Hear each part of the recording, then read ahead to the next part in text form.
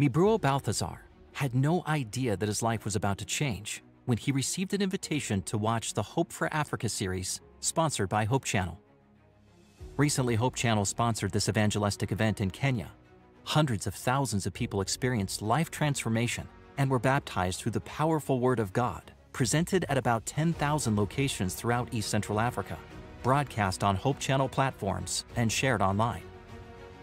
Miburo the founder and leader of a Christian church in the nearby country of Burundi, was invited to watch the event at one of the downlink locations. In 2011, Miburo embarked on a spiritual quest for biblical truth.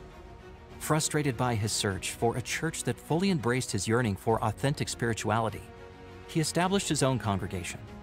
He watched the presentations for three days and was captivated by what he learned from the event's main speaker, Pastor Mark Finley. Miburo, eager to share this newfound information, invited his congregation to join him in watching the rest of the programming. Miburo made a life-altering decision, dedicating himself anew to Christ and choosing to be baptized as a Seventh-day Adventist. Half of his congregation joined him after a few days in this transformative journey. I am extremely happy to have received the message of salvation and even happier because my congregation willingly joined the Adventist Church. My greatest desire is to see the people in this area come to Christ because time is very short and Jesus is coming soon. By the end of the series, the other half of the congregation also embraced the faith and were baptized. This story celebrates the profound influence that Hope Channel programming can have on countless hearts in Africa and around the world. Hope Channel's mission is to share the gospel through a global network. Currently, they broadcast more than 80 channels on television, as well as produce content for social media and digital platforms, including YouTube, in more than 100 languages. Hope Channel celebrated its 20th anniversary in 2023. They seek to extend their network to fulfill Jesus' command to take the gospel to all nations. Please pray for Hope Channel as they open new channels to reach unentered areas. Thank you for supporting the mission of the Seventh day Adventist Church.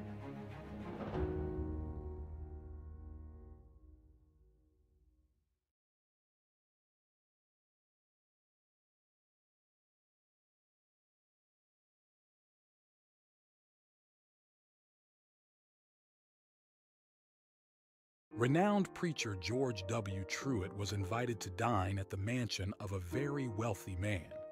After the meal, the host took him to a place where they could get a good view of the surroundings. Pointing to the oil wells dotting the landscape, he boasted, As far as your eyes can see, it's all mine. Looking in the opposite direction, where his grain fields bloomed, he said, All that is mine. Turning east toward huge herds of cattle, he boasted, They're all mine. Then, pointing to the west and a beautiful forest, he exclaimed, This is all mine too. He paused, expecting Pastor Truett to praise him. Placing one hand on the man's shoulder and pointing to the sky with the other, Pastor Truett simply said, How much do you have in that direction? The man lowered his head and confessed, I never thought of that. Command those who are rich in this present age, says Paul, not to be haughty, nor to trust in uncertain riches, but in the living God who gives us richly all things to enjoy. Let them do good, that they be rich in good works, ready to give, willing to share. Ellen G. White says, Satan uses worldly treasure to ensnare, deceive, and delude souls to accomplish their ruin. God has given directions as to how they are to appropriate His goods in relieving the wants of suffering humanity, in advancing His cause, in building up His kingdom in the world, in sending missionaries into regions beyond, in disseminating the knowledge of Christ in all parts of the world. By being generous to others and by regularly returning God's tithes and promise, we tell ourselves and spiritual beings that our possessions do not own us. Those possessions must be considered evidence of God's work in our lives and not of our ability to hoard resources. As we return our tithe and promise offerings, may we put our desires last and God first.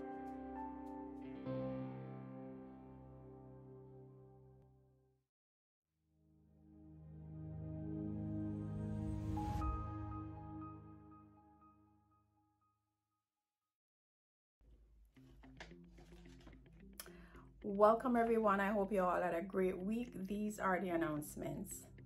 The Women's Ministries Department leader, Sister Rita Slack, would like to meet with all ladies immediately after divine service in the sanctuary.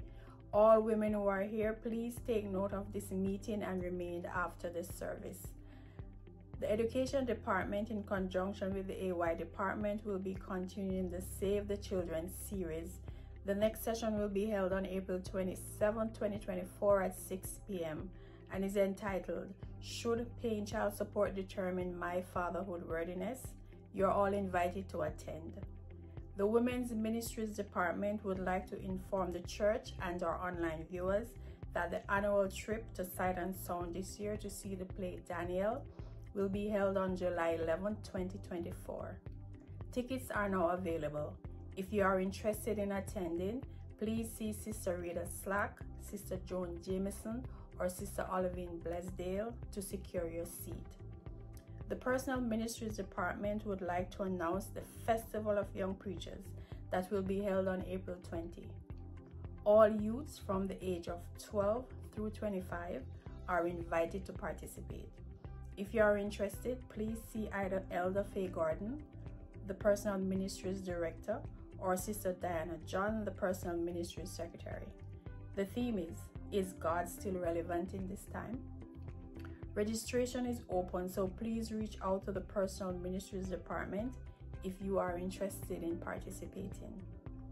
The Sabbath School Department would like to inform you that Community Guest Day will be held on April 20. You are all invited to come out and to bring a friend. The Prayer Ministries Department would like to invite you to join them on Zoom every morning for the month of April from 5 to 5:30 a.m. for prayer.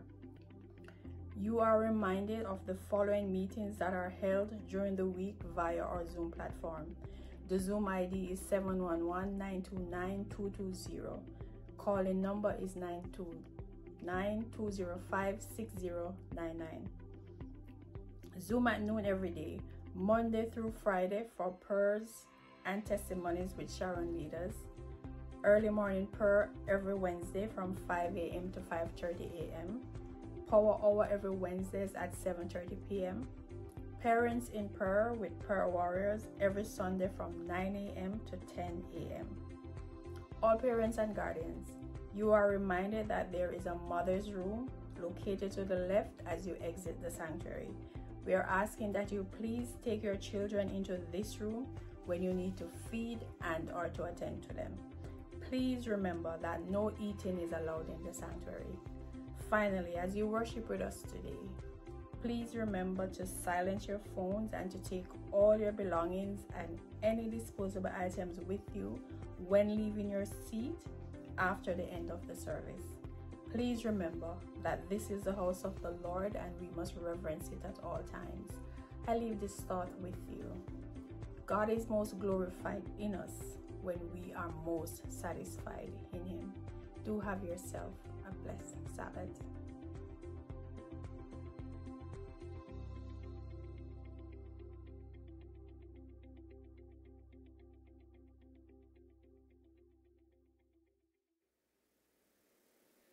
Good morning and happy Sabbath, everyone. Good morning. Happy Sabbath, everyone. We want to welcome you into the house of the Lord today. Um, how many can say that they had a good week this week? All right, I see a few hands. How many had not so good of a week this week? Okay, I see a couple hands. Either way, no matter what type of week you had, you are here today. Give God thanks, give God praise for waking you up this morning, for giving you the strength to make it into his house today.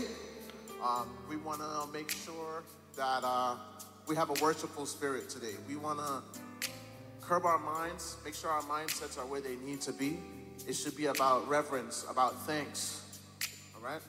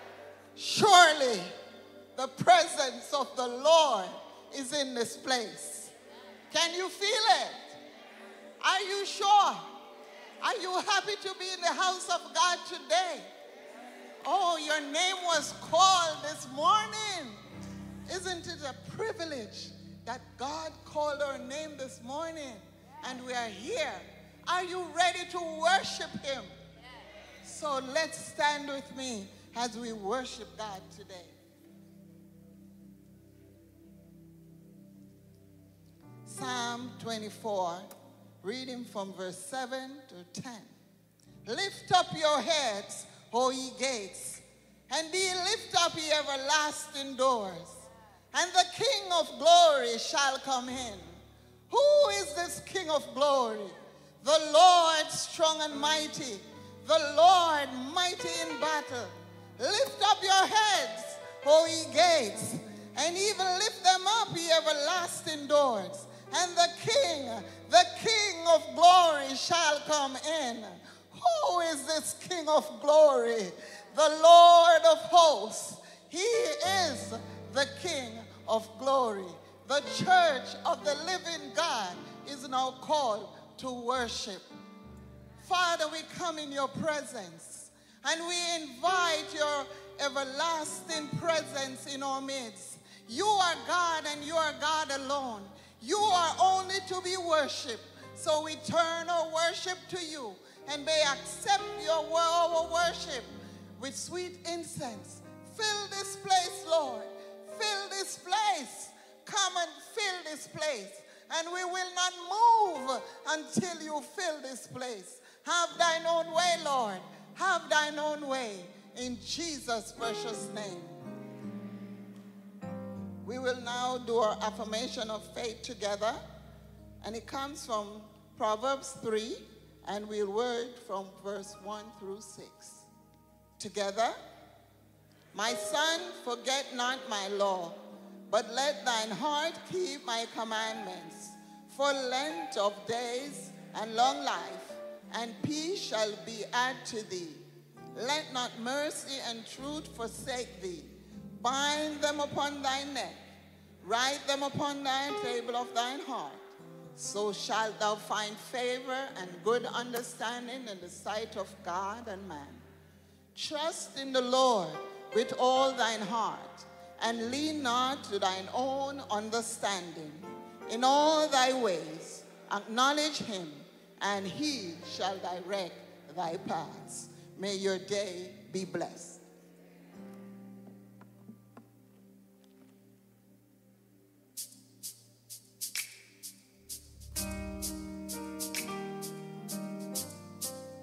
Our opening hymn will be hymn number one, Praise to the Lord. Hymn number one, Praise to the Lord.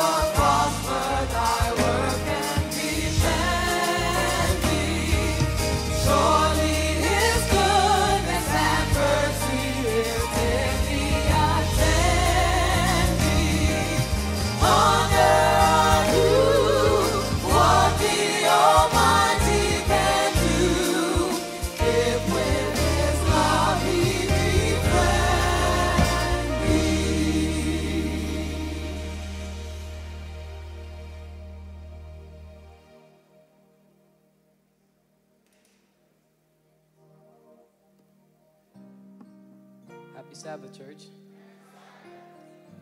Today's scripture reading is from Psalms 9, verse 11 to 20. Sing praises to the Lord, which dwelleth in Zion.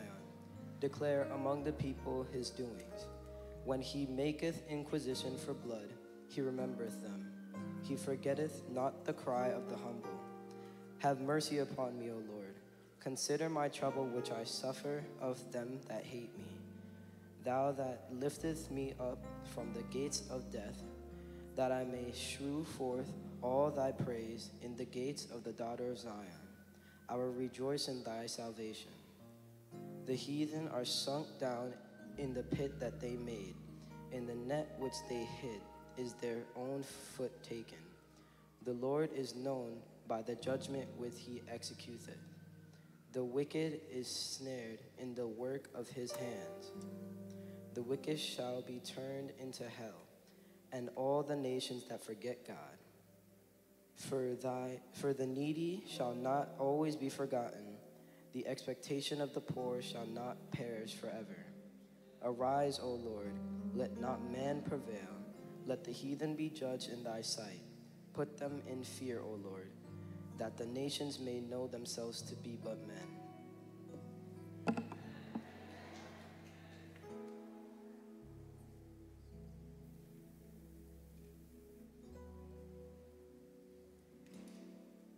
The Lord, Sharon. Hallelujah to the Son of God, Sharon. I am a living testimony that God is awesome. That's my word, awesome. In all his splendor and his glory. We are going to pray as the praise team ushers us into prayer.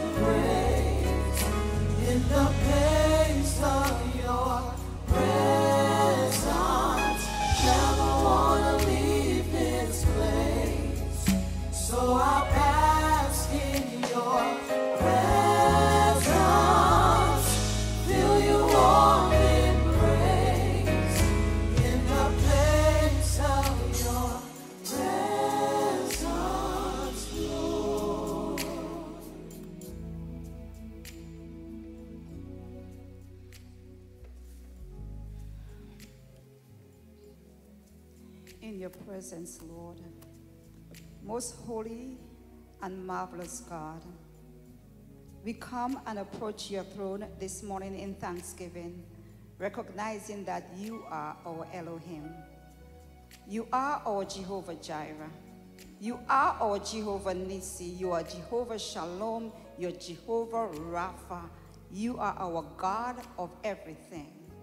And because there is none like you, and there's none that can do what you do, we come giving you praise and thanks and glory and honor and majesty and dominion and authority because you are the one only and true God.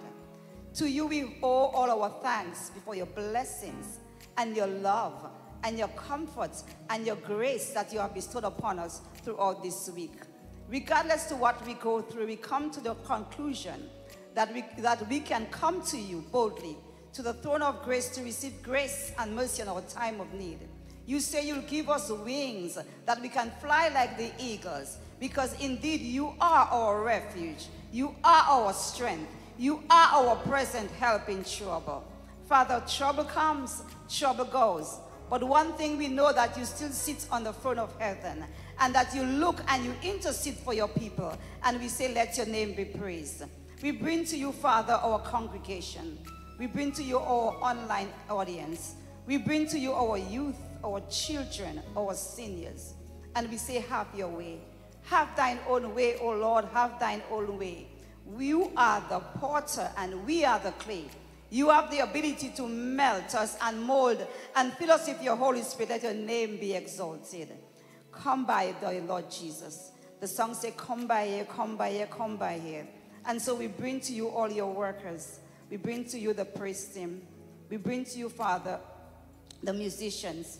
We bring to you the, the media personnel. We bring to you the congregation. We bring to you the online audience. And Father, we say, Lord God, even our pastor, we bring to you. We ask in the name of Jesus that we will use each and every one of us for your kingdom's glory. We pray that the Holy Spirit will come by here. And whatever word that you have to proclaim for our hearts, to give us the zeal, to give us the hope, to give us the blessing, to give us the joy, and to give us the peace today, we say, Lord God, do for us what you only can do. Let your name be magnified. Bless those who are sick. We bring to you, Sister Boatswain. We bring to each and every one, Lord God, who is suffering some malady or the other. We know by your stripes, by your stripes, Jesus Christ, we are healed. Let your name be exalted. Father, we know that the preacher has a word for us today. And so we say, Father, anoint him afresh with the power of on high. May he speak with boldness. May he speak with clarity. And whatever, Lord, you want us to learn today, may maybe open our hearts to receive it. We give you honor, we give you praise, we give you glory, and we magnify you because you are our only one and true God. Let God be exalted, we pray. In Jesus' wonderful name, amen.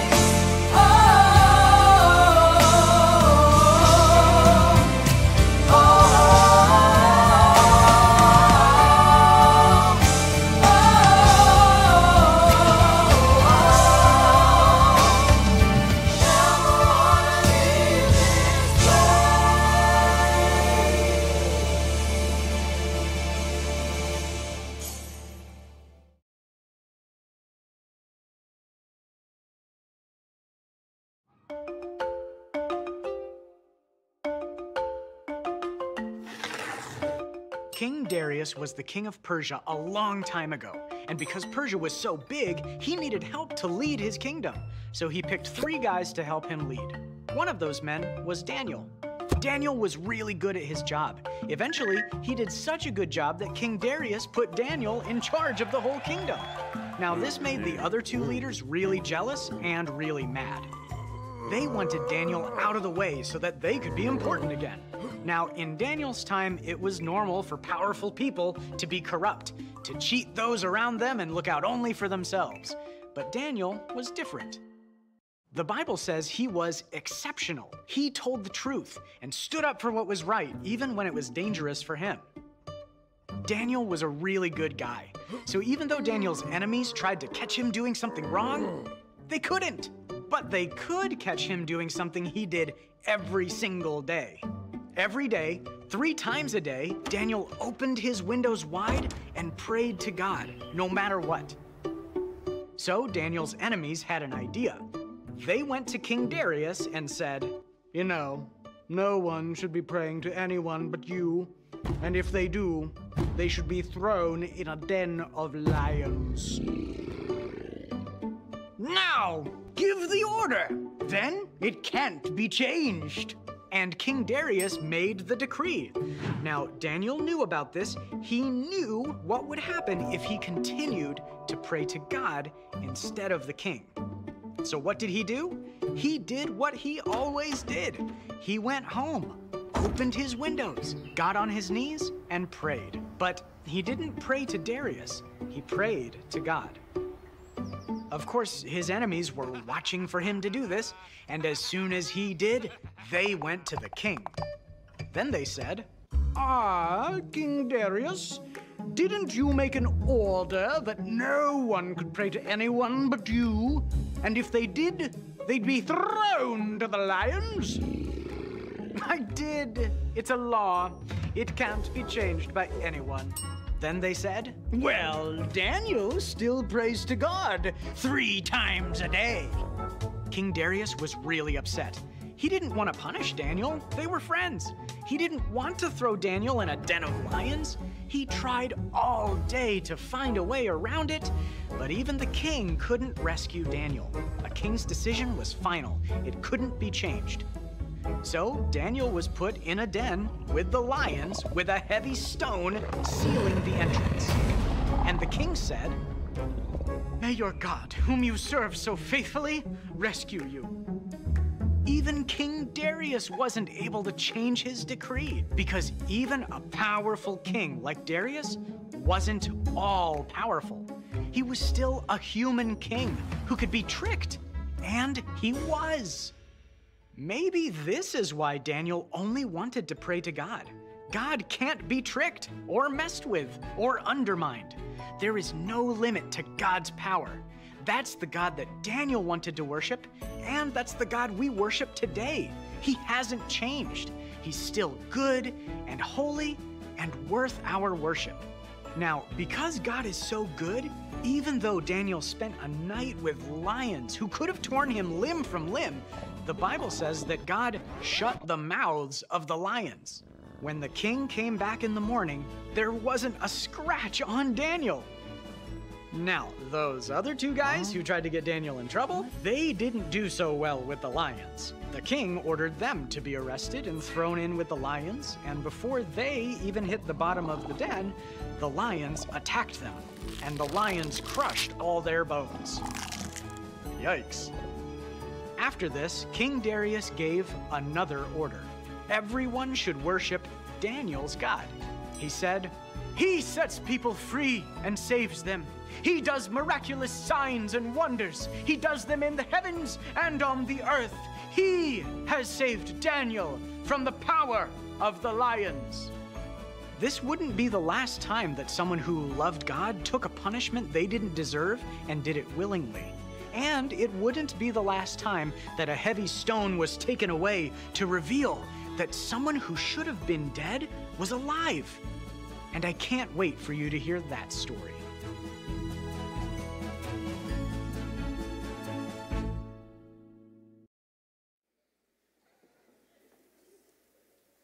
Good morning, church. Happy Sabbath. Uh, it is a pleasure to be here this morning. Um, I'm going to read something before I ask the deacons and deaconesses to come up to receive the tithe and offering, and I want you to pay close attention. It's found in the book of Matthew, chapter 25, verses 31 to 40. I'll read it, you can always check it later. And it says, When the Son of Man shall come in his glory, and all the holy angels with him, then shall he sit upon the throne of his glory, and before him shall be gathered all nations, and he shall separate them one from another, as a shepherd divides his sheep from the goats. And he shall set the sheep on his right hand, but the goats on the left. Then shall the king say unto them on his right hand, Come, ye blessed of my father, inherit the kingdom prepared for you from the foundation of the world. For I was hungry, and you gave me meat. I was thirsty, and you gave me drink. I was a stranger, and you took me in. Naked, and you clothed me. I was sick, and you visited me. I was in prison, and you came unto me. Then shall the righteous answer him, saying, Lord, when saw we thee hungry and fed thee, or thirsty and gave you drink? When saw we you a stranger and took you in, or naked and gave you clothes? Or when saw we you sick or in prison and came unto you? And the king shall answer, and say unto them, Verily I say unto you, inasmuch as you have done it unto one of the least of these my brethren, you have done it also unto me. The point I want to make here is the tithe and offering that you return to the church is part of a larger ministry that goes on locally and throughout the world. And while we or you or I may not be directly involved in something at all times, because we are contributing to the ministry, we are therefore part of what goes on. So, well, while I may not be involved in prison ministry, my money is being part of what goes on there. I may not be in the food pantry, but I'm helping to that. I may not be building a house or a church in a foreign nation or even here in the United States somewhere, but the money that I return to the church, it's helping that both globally and locally. So, church, I want to remind you when you return your faithful tithe and offering to the Lord, not only will the Lord bless you in return for that directly, but you're also part of something bigger. And on that day when God comes and we look around, you realize that some of the people standing there are there because of the ministry that you were involved in. I now call upon the deacons and the deaconesses to receive the Lord's tithes and the Lord's offerings.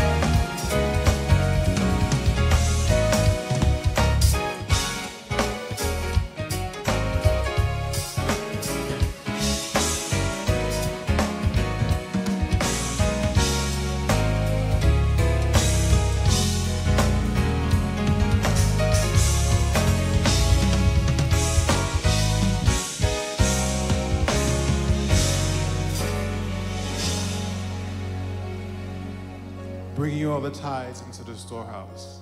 And prove me now, said the Lord of hosts, if I will not open for you the windows of heaven and pour you out such blessings that you will not have room enough to receive it.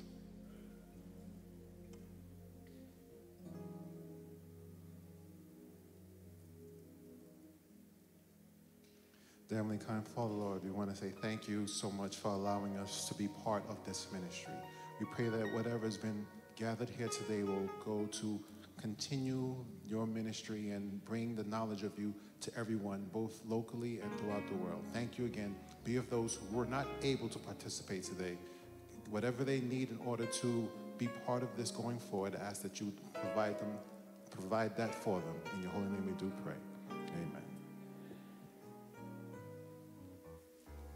It is also my pleasure to introduce to you the speaker of the day.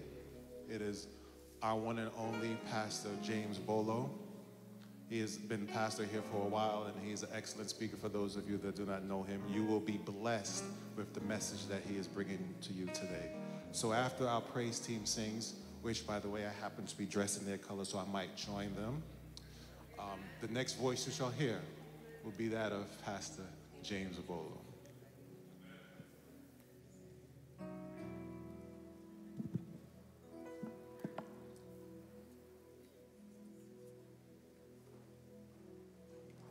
Praise the Lord, everybody. I know it's a little chilly. Praise the Lord, everybody. Praise the Lord. Yeah, a little warmth in our hearts. Amen, amen. We're going to give God a good praise today. It's going to be some songs. We're going to sing like a choir. Uh, you know, if you know the song, sing along. And if you're singing in your mind, like have your face set up like I'm singing in my mind. You can hear it. We're going to praise the Lord this morning, correct?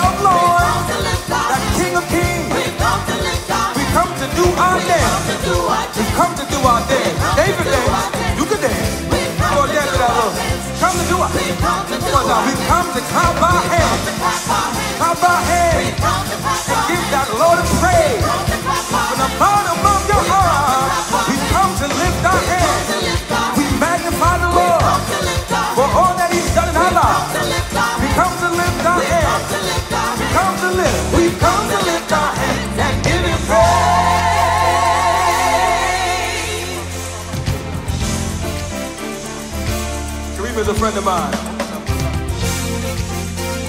Now we're taking it back a little. We, we, we know this. All right, quiet. All right, quiet. Come on, y'all ready? Oh. Come now, Almighty King. Help us thy name to sing. Help us thy name to sing. Come on, quiet. Come thou Almighty Almighty King. Help us thy name to sing. Help us thy name to sing. Let's do that again.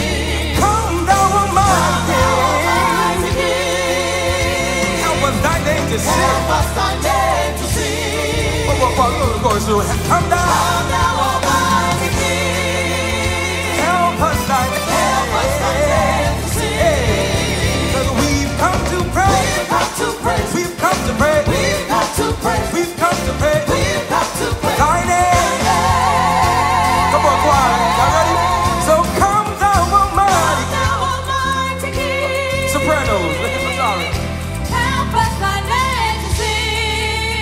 soprano, soprano. Us.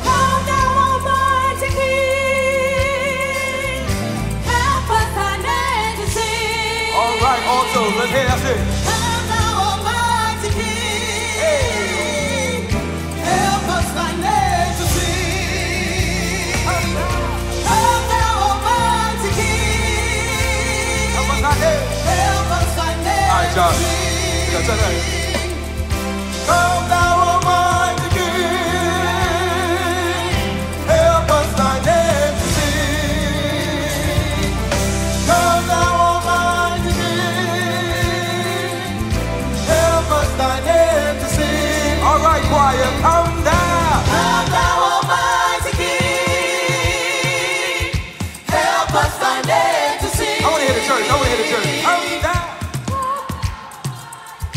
Okay, alto, I love it. Hey. Good morning. Oh, let's the church again. Let's hear it. Come down.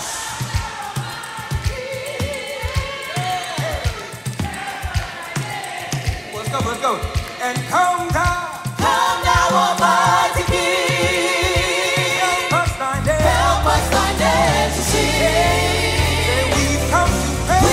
We've come to praise. We've come to pray. We've come to praise. We've come to pray.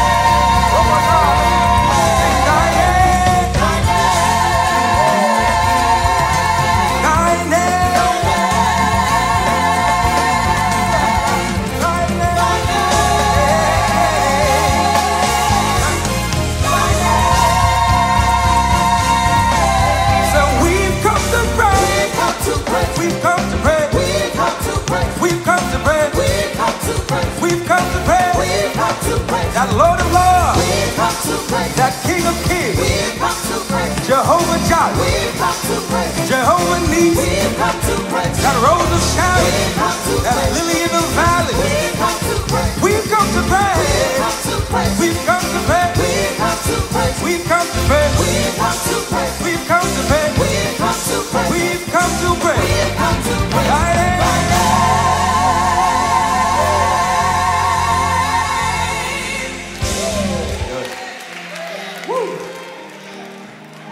warm now. I think I warm now. Warmed up. We warmed up.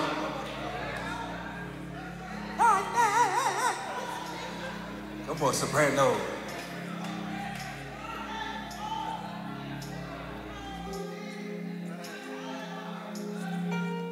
We have, uh, use a big word, we have the proclivity.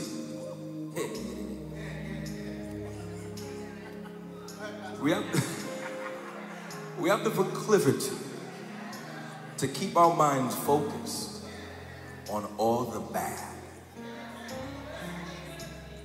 Right? Be fair, be honest. So I wake up, and the first thing I talk about, oh, my, my back.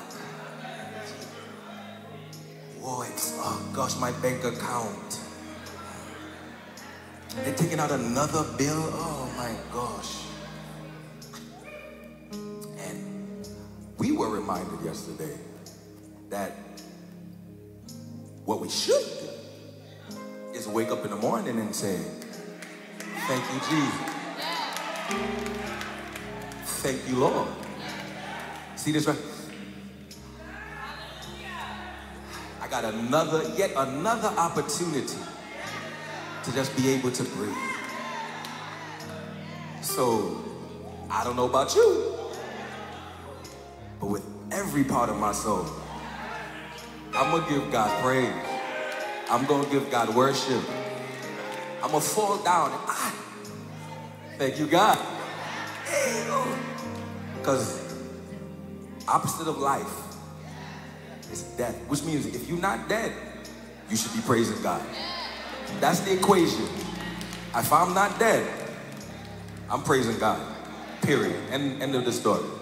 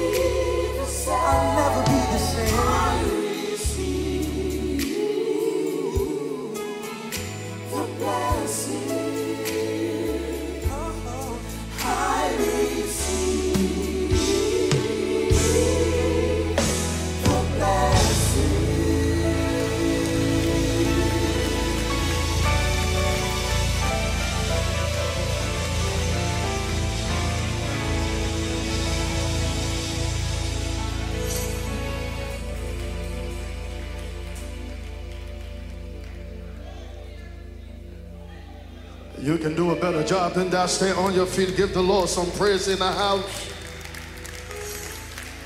Give the Lord some praise in the house. Give the Lord some praise in the house. Oh, I wish I had a witness in the house. The Bible says, and violence shall no more be heard in thy land. Wasting nor destruction within thy borders, but thou shalt call thy war salvation, and that gate praise. I wish I had a praise and worshiper in the house, because the gates shall be called praise. The sun shall no longer be the light for the day, neither for brightness the moon give light unto thee, but the Lord shall be unto thee an everlasting light. And that God, that glory, the sun shall no more go down, neither shall the moon withdraw itself, for the Lord shall be that everlasting light. And the day of that morning shall come to an end. Come on, give the Lord a hand of praise. One day, morning shall come to an end. One day, there will be no need for the S-U-N, for the S-O-N shall be the light of the city. One day, Jesus himself shall be there. What do you say? I love what the song says, and sorrow shall not breathe in the air. I wish I had a witness in the house, and sorrow shall not breathe in the air. No sickness, what do you say? No pain, no getting old, no saying I'm tired. I wish I had a witness in the house. And Jesus, and Jesus shall be there. Come on, give the Lord a hand of praise. Tell your neighbor, say Jesus himself shall be there.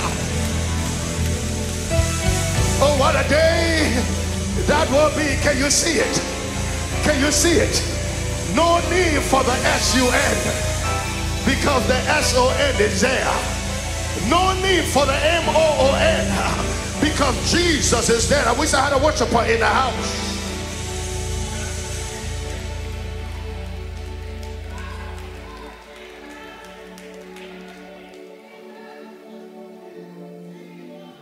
I don't know about you, but God has been an awesome God. What do you say? God has been an awesome God.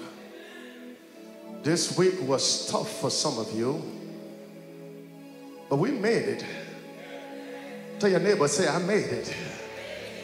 Uh, you can do a better job than that. Tell somebody, I made it.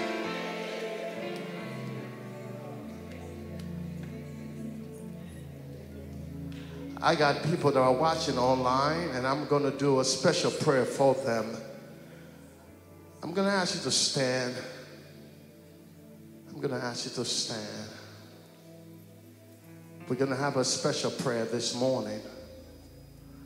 I'm going to call just 10 persons. 10 persons. I just need 10 this morning. 10. I need the first 10 to just come quickly. Come. So they 10 person.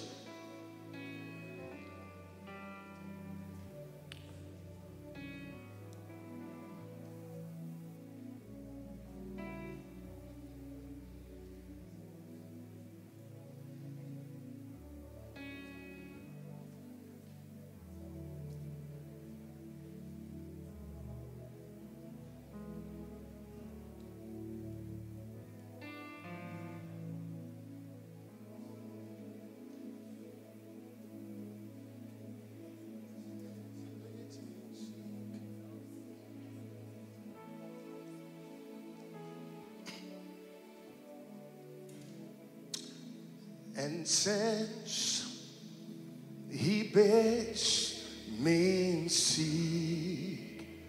His face, believe. His word and trust. His grace, I'll cast on mine every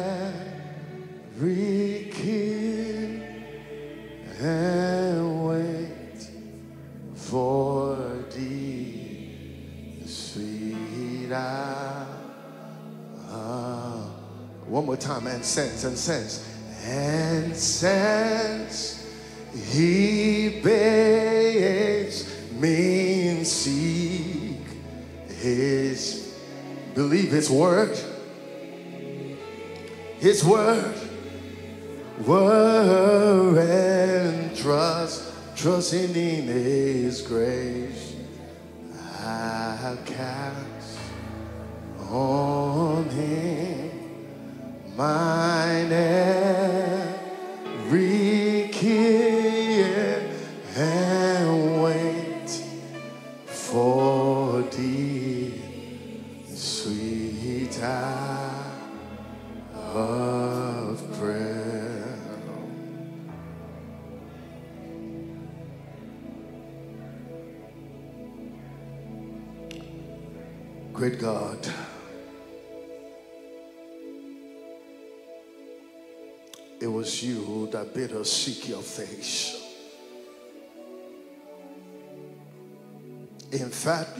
Disappointed when your house don't pray.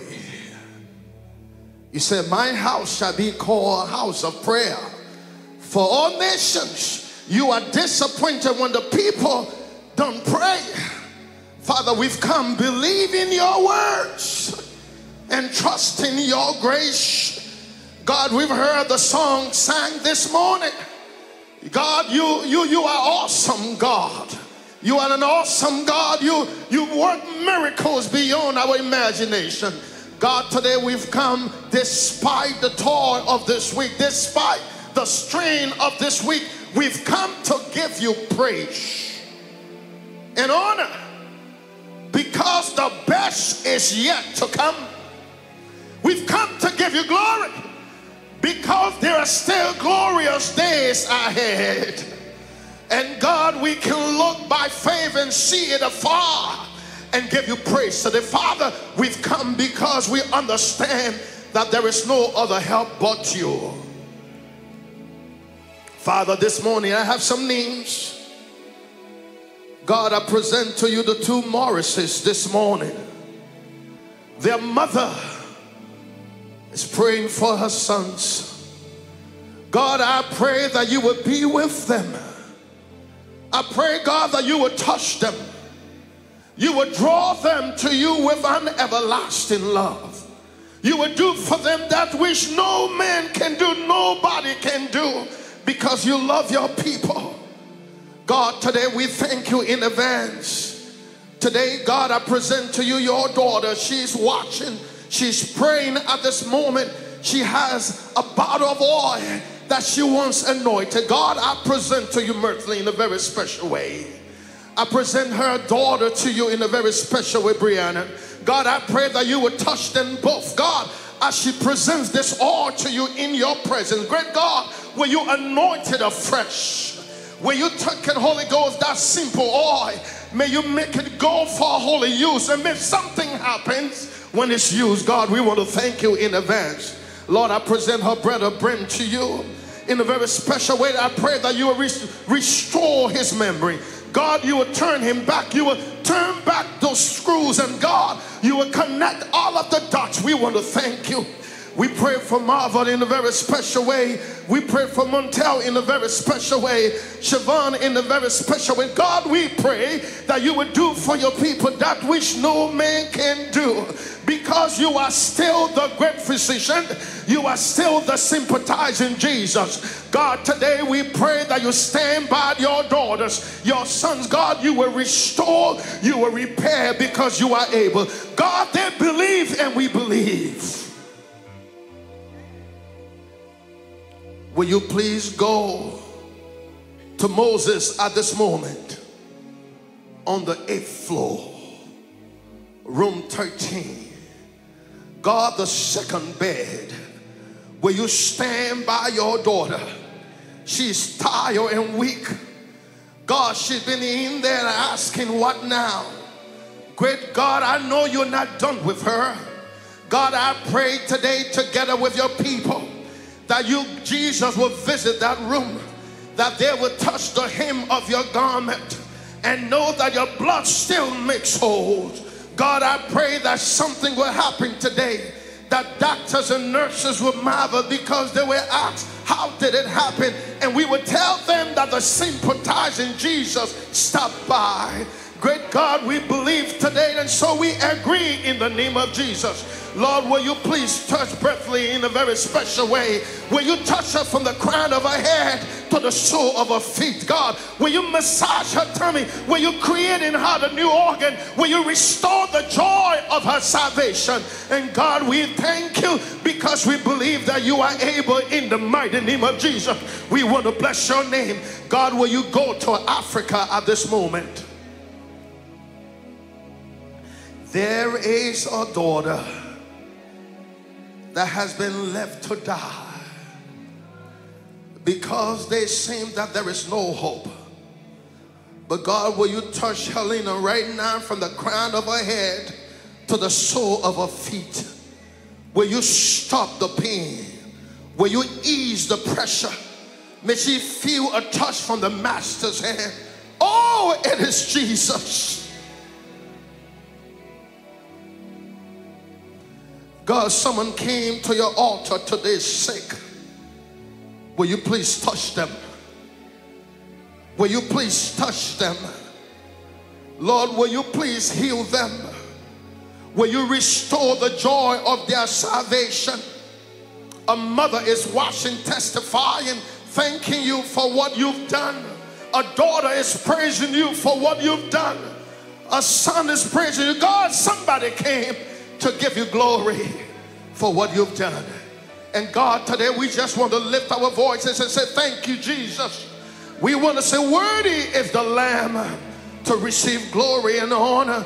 God, will you be with our young people? Will you bless them? Will you provide for them? Will you open doors for them? May you turn away disappointment to joy. May you turn away sadness to gladness. May you wipe their weeping eyes. For those that are mourning, will you comfort them? Great God, we want to thank you, great God.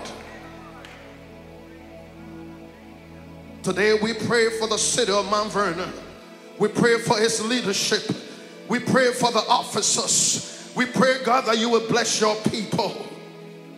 We pray for our conference and this leadership. We pray, God, that your presence will abide with us. And Lord, all of those that are watching, may they say, Today I was glad to be in the house of the Lord. And Lord, thank you. Do for us that which no one can do. Oh Lord, see what the Lord has done. See what the Lord has done. See what the Lord has done. And Lord, we will be careful to give you glory and honor in the mighty name of Jesus. I say, in the mighty name of Jesus. Put your hands together. Give the Lord a hand of praise. Give him a hand of praise.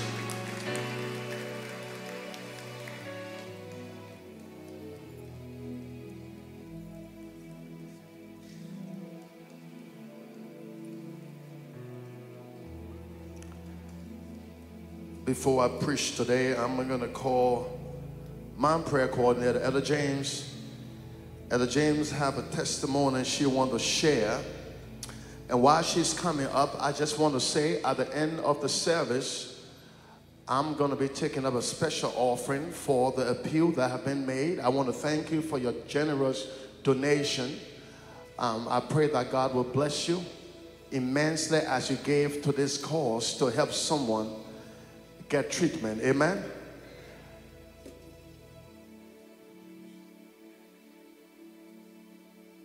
Oh, I see Elder Terrence too.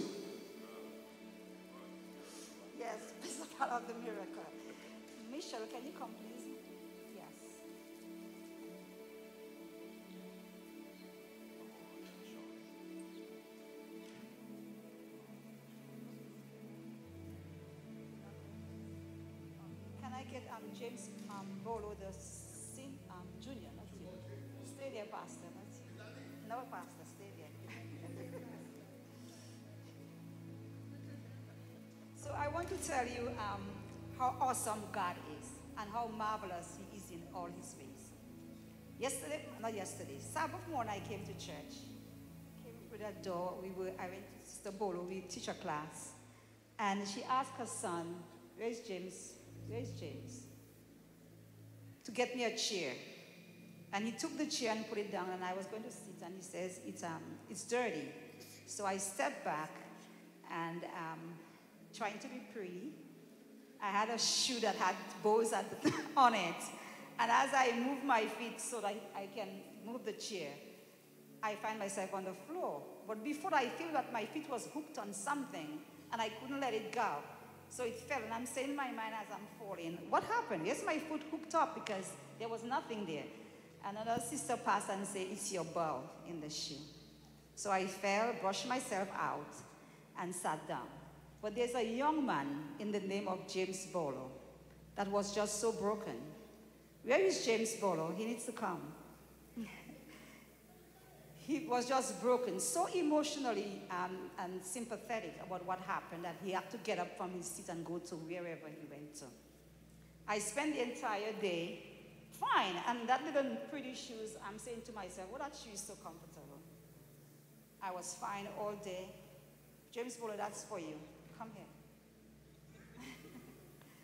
that's for your love. Hold on to this.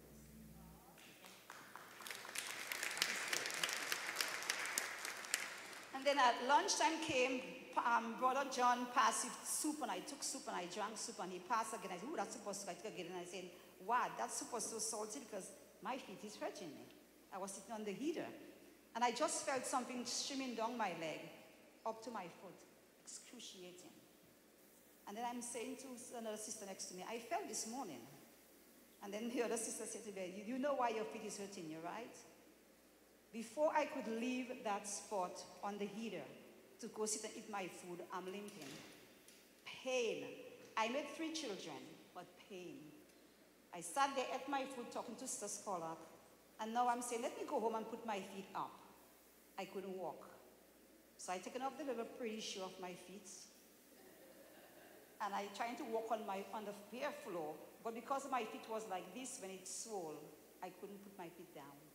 So I'm there limping away, and this precious sister say, what happened to you?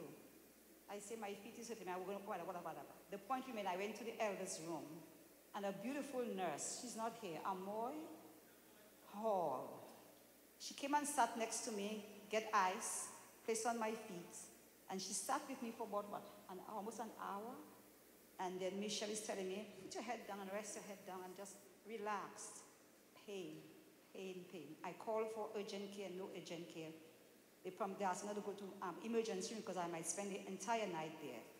And she, I, Anne Almery, gave me two pills, which I took for the pain because it was so excruciating. And I was about to go home to rest my feet, and I'm holding the nurse, and I'm limping, and um, on one leg. And Michelle is saying, you, no, sis, you can't do that, walk on the leg. When I put my feet down, it couldn't stay down. Pain, pain, pain. Some men came around and we were going to take a chair to carry me down. This, the nurse says to me, um, how, how heavy are you? I'm not going to tell you the weight though.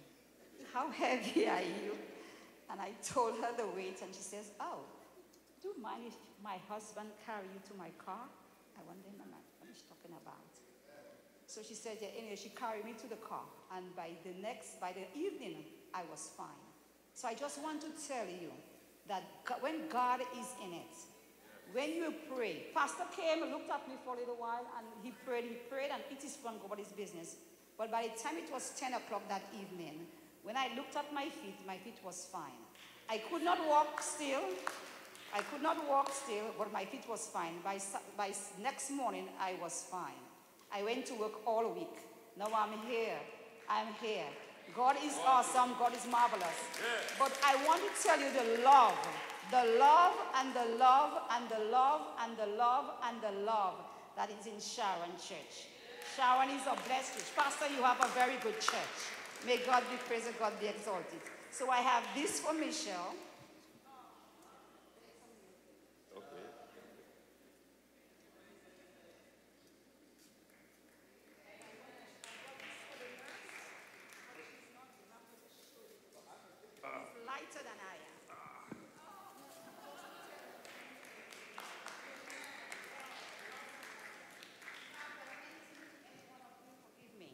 Just love each other because God is awesome.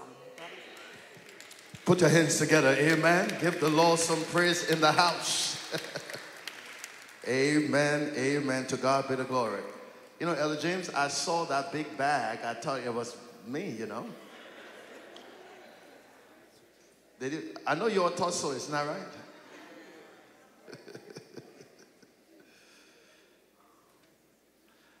If you have your Bibles, turn with me into the book of Revelation. What do I say? What did I say? The book of Revelation, Revelation chapter, Revelation chapter 2. Revelation chapter 2. If you have it, say amen.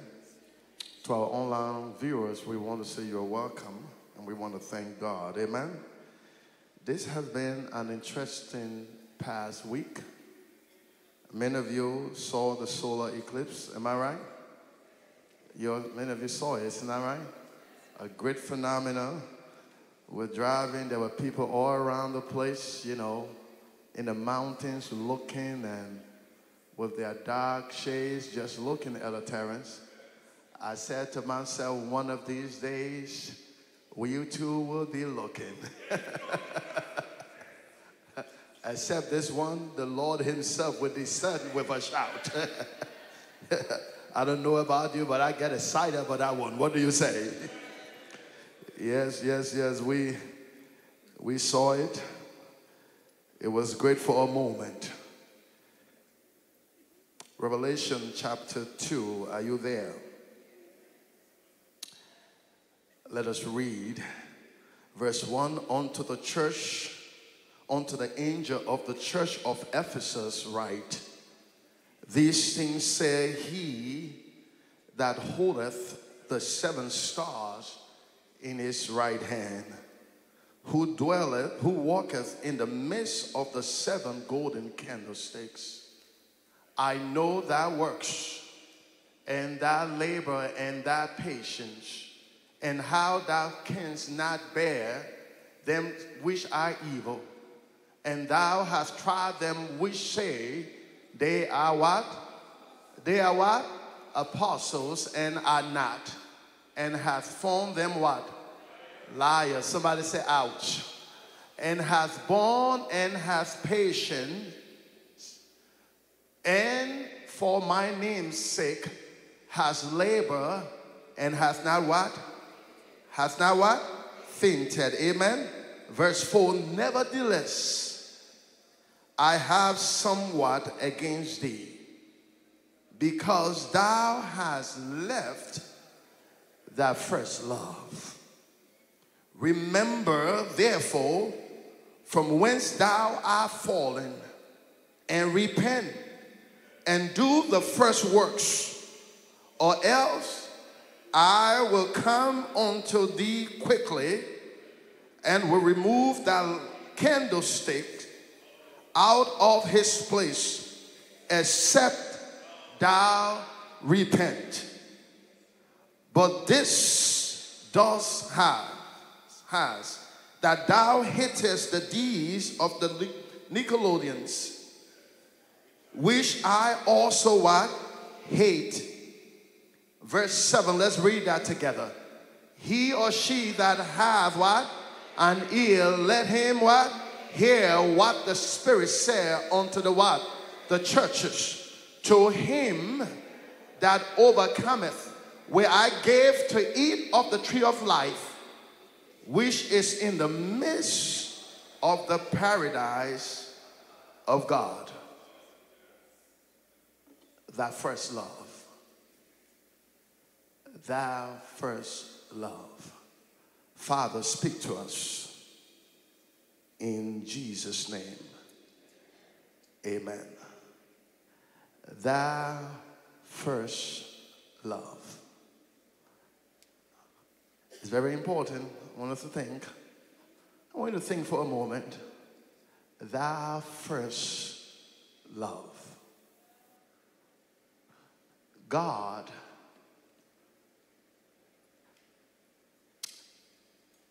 Revelation is a very fascinating book. What do you say?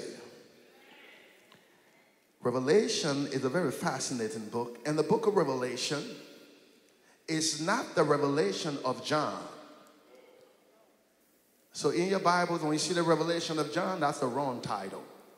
It's not the revelation of John, it's the revelation of Jesus Christ. Amen. Let's say that the revelation of who? Jesus Christ is the revelation of Jesus Christ. It's not of John. It's the revelation of Jesus Christ, which God gave to his servant, John, to pass on to the churches. Are you listening to the preacher? So, the Bible talks about everything, but Revelation talks about Jesus. Do I get a better amen than that? Unfortunately, many of us look in the book of Revelation and just fo- focus on the beach or the Pope, and all of that revelation is not about that. Revelation is about who? Jesus Christ. Jesus is replete on the pages of the book of Revelation. What do you say? So everywhere you pass in the book of Revelation, you see Jesus. So Jesus is introduced in the book of Revelation. And as he's introduced by John, Jesus makes this statement to John. He said to John, I want to, because John now is off the Aegean Sea, banished on Patmos. Now, Patmos was like a solitary confinement. If you were sent to Patmos, you must be very bad. Hello, somebody. It was where they put you for no return. Somebody say, ouch.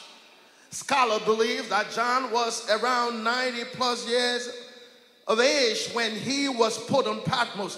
And sometimes people say, why at this age he's old? Why is he going through this? Um, according to tradition, they believe the reason John was banished of Patmos was because while they were killing the rest of the disciples, they made a mistake and boiled some hot oil and said, We're going to make John a public example. And they put him in the oil, boiling oil. But after a while, John came out. Hello, somebody. Tradition said that John could not be burned by oil. Somebody give God a hand of praise. And because of that, they said we must banish John or else people will start worshiping John. Are you listening to the preacher?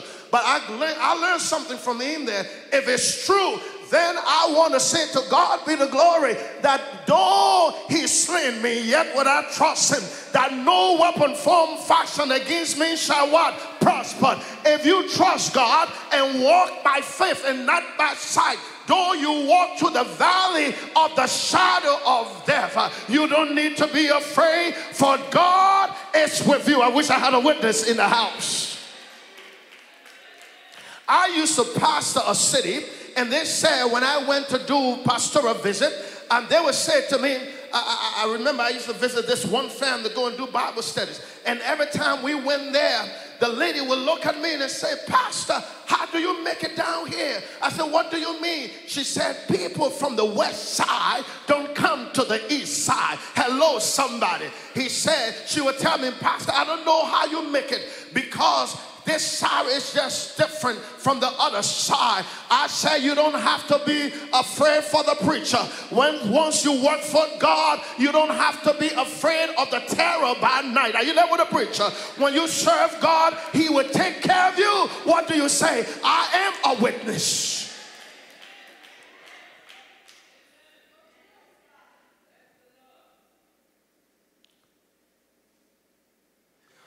In the book of Revelation, Jesus introduced himself in Revelation 1, verse 8. He said to John, Tell them, I am the Alpha. I wish I had a witness in the house. I am the Alpha and the Omega, the beginning and the end. Jesus said, I am the one that started human history. I am the beginning before the beginning began. I am the one that started before it happened. Are you listening to the preacher? And I am the Omicron, which is the last Greek letter. He said, I am the last to come. There is none after me. There was none before me. Hello, somebody. That's why I have a problem with those that said Jesus was just an ordinary man. He's not an ordinary man. He was verily, verily God. What do you say? I am the Alpha and Omega. In fact, he tells John, I am the Alpha and Omega, the first and the last. He told John that. Then he said, I'm going to come with clouds, and every eye. God, you're quiet on the preacher. Some of us had no money to buy that fancy sunshade to see the solar eclipse for three or 20 seconds. Hello, we don't, you, you are smart Adventist folks. Hello, somebody. Not wasting my money. Are you listening to the preacher? But on that day, you don't need sunglasses. He said, I'm coming with clouds, and every eye shall see him. In fact, I was driving, I began to think about it because I was driving, I was a little distracted because the cloud, the, the cloud began to get dark. So I put my face under my windshield and began to look up as I was driving. Lord, babe, you got to pray for your sweetheart. I pray, I'm saying, Lord, but then a thought came to me, son, there is coming a day when you don't need to do that. And I began to question. I said, Lord, how is this going to happen? I began to try to figure out, but I could not wrap my mind around it. He said, I'm coming with cloud. In other words, he's going to empty the storeroom of angels. Uh, for the very first time, heaven will be empty. Are you listening to the preacher? The Bible says that all the holy angels, can you see them? God the Father, the Son, and the Holy Ghost. Uh, Uh, the seraphims uh, and the cherubims. Are you there with me? And then the angels uh, and the 24 elders. And he said, It's time, time to go to planet Earth. I got some folks together. Whom are you listening? with a preacher? And the Bible says for the very first time, heaven is empty. I wish I had a witness in the house. Uh, if you are in Mount Vernon, you will see him. Uh, if you're in Barbados, you will see him. Uh, if you're in Trinidad, you will see him. If you're in Jamaica, you will see him. If you're in Guyana, you will see him. Dominica, you will see him. Uh, can I talk about Africa for a moment? Uh, wherever you find yourself on the continent, you will see him because every eye shall see him. I wish I had a witness in the house. Give the Lord a hand of praise.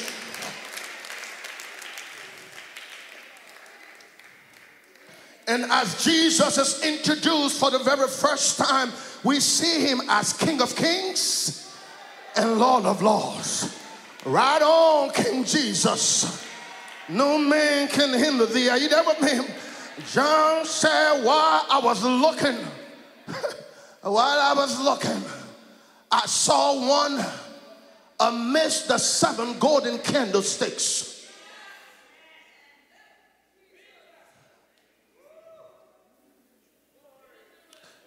One like the Son of Man. Ah, you're quiet. You know, this always, this always, I get, I get excited when I hear the Son of Man. The only being, the only person of the Godhead that forever is linked with humanity. Don't be surprised when you see him look like this African. Hello, somebody. The only person with the God. Are you listening to the preacher? The Bible calls him the Son of Man. Are you listening to the preacher? The Bible says he's come, he's clothed with a garment down to his foot. I should have worn my priestly robe today. Hello, somebody. Down to his foot. Are you listening to the preacher? And girded about the pips with a golden girdle. Hello, somebody. He's no longer a baby.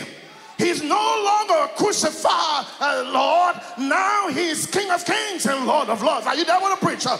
And he's walking amidst his church. Uh, his head, his head, and his hair were white like wool. Hello, somebody. As white as snow, and his eyes were like a flame of fire. I wish I had a witness in the house. Uh, and his feet like unto firm brass. Hello, somebody. And if burned in the furnace, and his voice is like the sound of many waters. Uh, and he had in his right hand the seven stars. Now, now, now, the candlesticks are seven, the stars are seven, representing the same thing. The candlesticks represent the seven churches, the stars represent the seven churches. Are you listening to the preacher?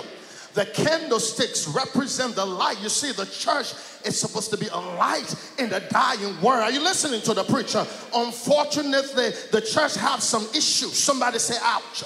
But the church is still the light. What do you say? The church is still the avenue by which God has chosen to save humanity. Are you listening to the preacher? Before it was the Jewish nation, but somewhere in Jeremiah, they forgot their first love. Jeremiah 2, verse 2. They forgot their first love. And, and in the New Testament, we see they've drifted away from, the, from God. In fact, they said to him, We will crucify you, and your blood will be on our heads and, and upon the head of our children. Somebody say, Ouch. And when they did that and refused to follow God, Jesus conferred. He said, I'm going to take the church. I'm going to make the church the living foundation of my kingdom. And through my church, anyone comes to my church, it shall be called a house of prayer. Burdens will be lifted in the church. Jesus will be very near. That's why today God is here. What do you say?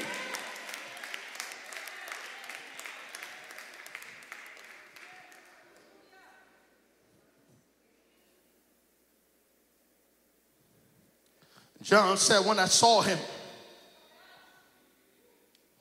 he said, he just did not have the church in his hands, but in his mouth went out two sharp edged sword. John said his countenance was brighter. His countenance was brighter than the sun in its full strength. You did not understand that.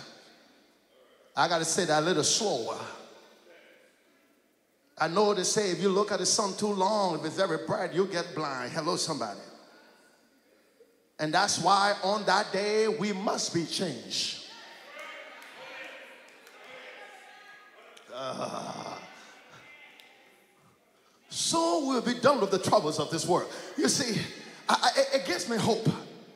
It says, He is so bright that He's brighter than the S U N. But how am I going to see Him if I've not been changed? I read somewhere when the Lord Himself descended with a shout, with the voice of the archangel. The Bible says, then we will be changed. In fact, the Bible says something that I love. Then this mortal shall put on immortality. For the very first time, I'm death proof. Hello, somebody. I need no sunglasses. Are you there with the preacher?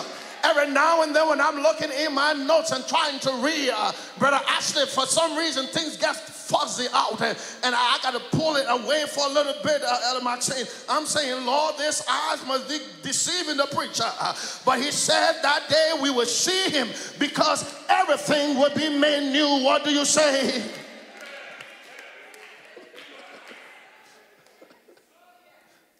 What a day that will be. And then John said, I fell at his feet as though dead. He said, Fear not. I am the first and the last. Ah, Are you quiet on the preacher? I'm talking about this same Jesus. I am the what? First and the last. He saw you before you were conceived.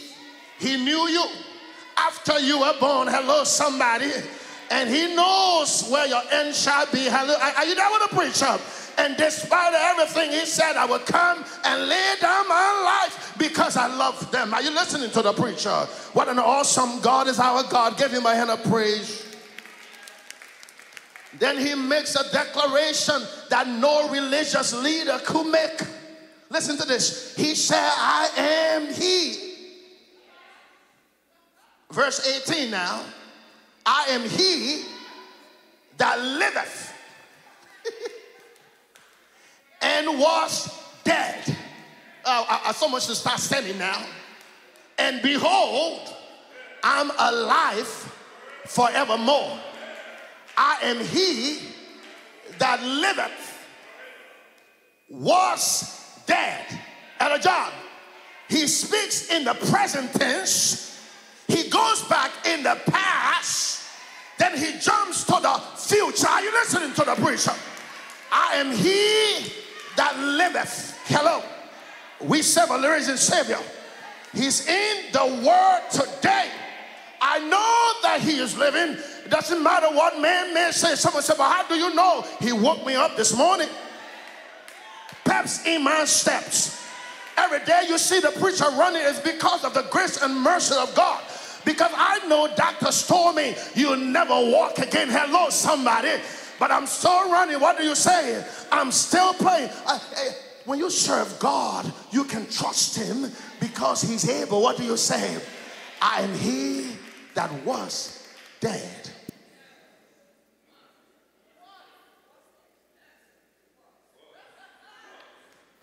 I am alive. and I live for what? Evermore. No religious leaders can make such a claim. He said, I have the past in my hand. Are you quiet on the preacher?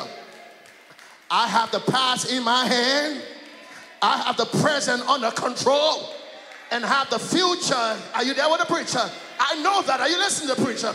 Your situation will not remain the same. He said, I know what your end will be. Uh, it's just a temporary trial you're going through, but I know your future. If that's true, give the Lord a hand of praise.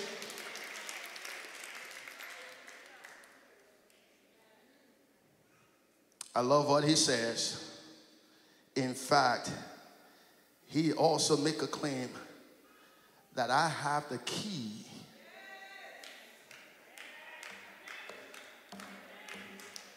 I have the key. But pastor, what kind of key you're talking about? I have the key. At a Terrence, you got a nice car at a Terrence, but not that key. Some of you have some nice friends at home, but not that key. Hello, somebody. Uh, uh, uh, some nice key. No, no, no, not that key. Some of you have some golden key, but not that key. You know, I've been places to show me some nice fancy key. You know, you go some function, give you the key uh, to a million dollar home, two million dollar home. Yeah, that key. No, no, not that key. For all of those things perish. He said, I have a key for something. I have the key for the grave.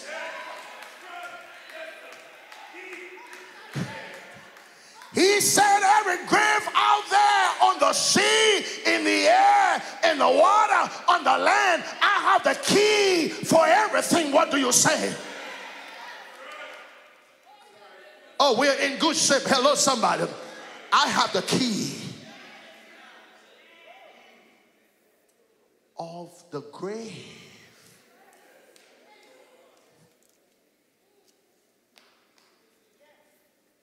It pays to serve Jesus. Whatever betide, it pays to serve Him. Do I have some server in the house, some worshiper in the house that can testify that it pays to serve Jesus? Whatever betide, it pays to serve Jesus. I learned this from the very early age, and it's sweet to serve Jesus. David said, Taste and see that the Lord is good. Are you there with me? It pays to serve Jesus. Those that know God knows life. What do you say? Jesus said, I came, John, I want you to go and strengthen my church. My church is going through some rough moment right now, John. Will you go, please, and strengthen the church? You see, Ephesus was a lovely church. In fact, historical writing says that the church of Ephesus, the city was located about six miles from Patmos. So it was the closest church to Patmos. Are you listening to the preacher? You see, Ephesus was the largest political city around that time. And Ephesus, the church in Ephesus, began to have some problem. When the church first started, the members were caring to each other the members showed love to one another. They were concerned, they were bearing each other burden. If you did not have, they gave. They never talk about each other. Are you listening to the preacher? They were willing to visit each other. You know,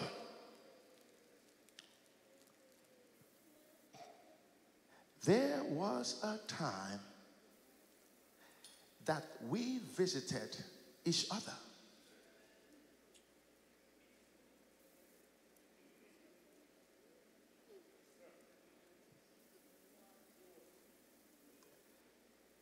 There was a time, and I'm using the word was because it seems like it's in the past. I mean, now and then they can even FaceTime you. You see their home. Open house now can be done remotely. Am I saying the truth? There was a time people were not afraid to let people see what was in their house.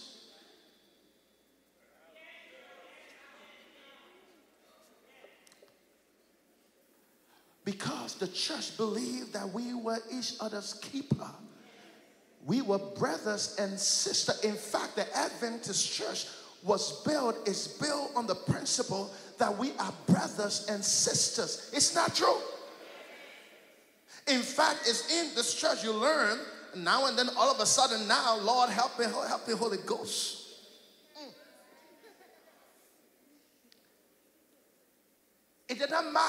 Qualification you had.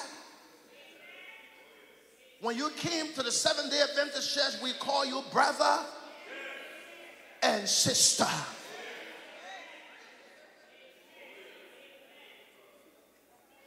There was a time you could call the preacher pastor, and he or she was what? Satisfied.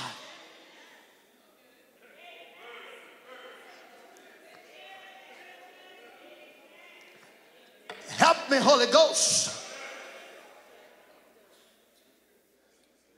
But every now and then you go to preach, they want a whole bio.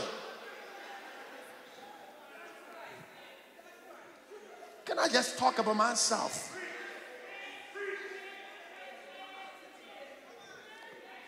I never forget I went to a church. I'm not going to tell you where.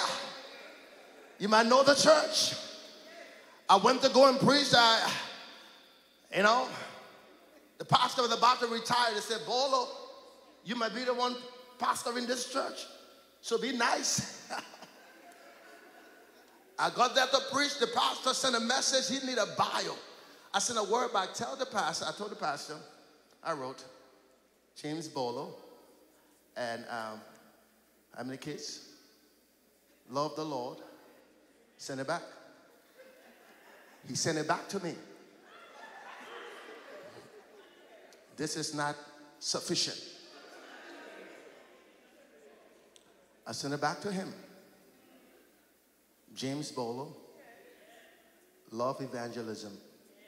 Shorter, send it back. He sent it back.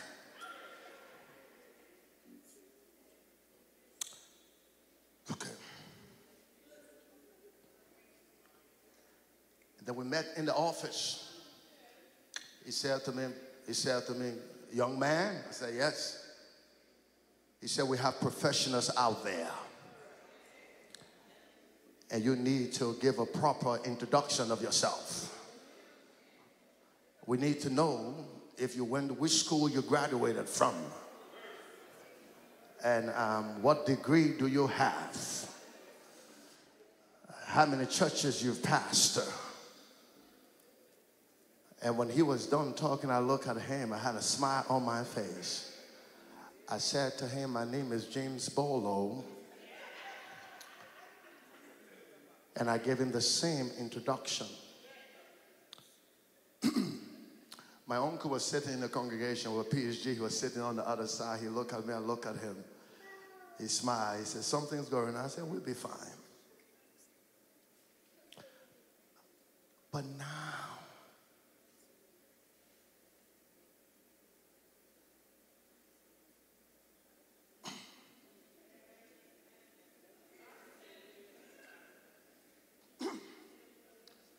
we have forgotten our first calling. We have forgotten why we even joined church in the first place. We have forgotten the reason we are Seventh day Adventist Christians. This is not a fancy fair, uh, fun fair. This is not where we come and show what we know and what we have. Yes, it's good in the Seventh day Adventist church. I can boast that we are educated, we have these things, but all of that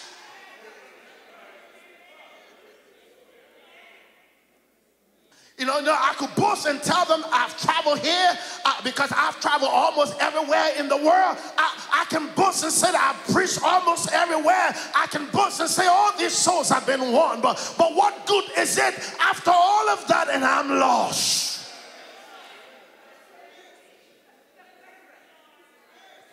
And the church must come back to its first love. We're in church now, and if we don't get position, we get upset. Hello, somebody. See people during nomination time, uh, they get upset. Some leave the church and don't come back. Are you?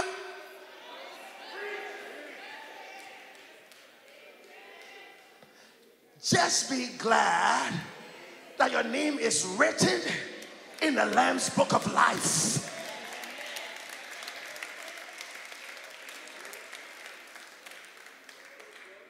The church of Ephesus was a good church, politically situated. And the Bible says something about the church, and I love what God does. He appraises the church in a positive way. I tell people, before you put me down, tell me some good things about myself. Tell me some good things about me. Are you the preacher? Before you tell me, preacher, you, you're too long, tell me some positive things. That sermon was nice, but preacher, you went too. Help me, Holy Ghost. But you know, there are people, there are some people that is just so rough. Ouch. Lord, help me. Help me, Holy Ghost. Jesus appraises the church. Jesus said to the church, I know your works. You have sound doctrine.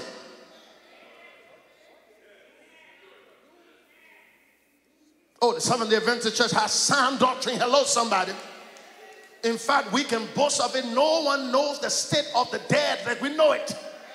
Because in the Seventh day Adventist church, we understand you don't need to be afraid of dead people. When you die, you are resting. Hello, somebody. Death is asleep. We know that the Seventh day Adventist church we understand that the seventh day Sabbath still stands. It does not change from one new moon to the next. One day when we get to glory, we will still keep the Sabbath. Are you listening to the preacher? In the Seventh day Adventist church, we understand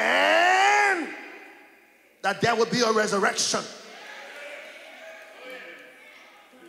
in the Seventh day Adventist church will understand the doctrine of the sanctuary that we have a high priest who is stressed by our infirmities. Are you listening to the preacher?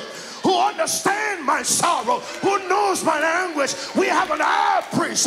He's after the order of Melchizedek. Are you listening to the preacher? We have a high priest that knows what we're going through. I love the song that said, Jesus knows all of my trouble. He will bear me until the end. No one like the lowly Jesus. No, not one. No, not one. We have an advocate with the Father. He sits at the right hand are you listening to the preacher? And so we have the doctrine of the sanctuary. In fact, in the doctrine of the sanctuary, we understand that without the shedding of blood, uh, sin would not be forgiven. That man must die, but Jesus steps in. Because the blood of bulls and lambs could not cut it. Some of us are too poor to bring lamb every Sabbath. Some of us don't have it to pay our bills. Are you listening to the preacher? We're still back due on the rent. Are you listening to the preacher? But he said, Come, because I'm going to lay down my life that you may have it more abundantly.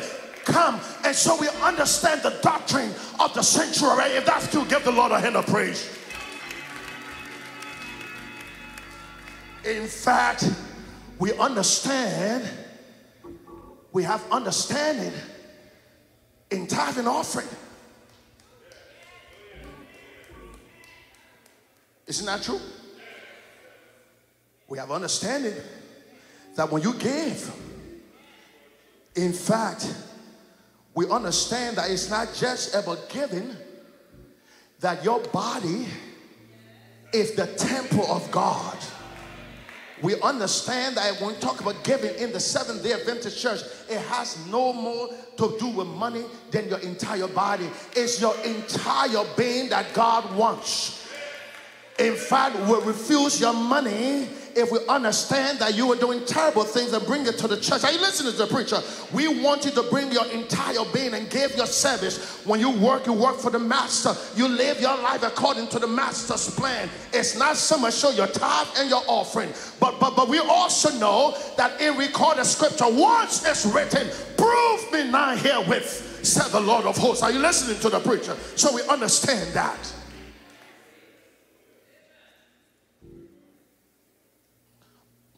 He said the church of Ephesus and him has something in common. What was that? He said they hate the Nicolaitans. He said, I do too. I hate for teaching. These was a, this was a group that taught compromise in the church. They were saying that really doesn't matter, that the standard of God really doesn't stand anymore. That's old faction. Are you listening to the preacher? And Jesus said, I hate them and you hate them too. Are you listening to the preacher? And when Jesus was done talking to the church of Ephesus, you think that was done. When Jesus was done, Jesus said to them, But I have a case against you. You have forgotten your first love. Ah. You have forgotten what? Your first love. Friends of mine, why was the reason you joined the church? Why was the reason you followed Christ in the first place? He said you've forgotten your first love. Somebody say, ouch. You see, Jesus saying, in order for you to be what I want you to be, you must have a vertical relationship. And then there are some people that say, Well, I love the Lord. Somebody say, Ouch.